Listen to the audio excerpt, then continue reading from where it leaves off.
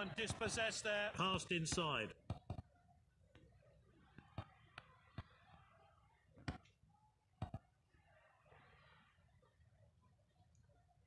It's a throw in.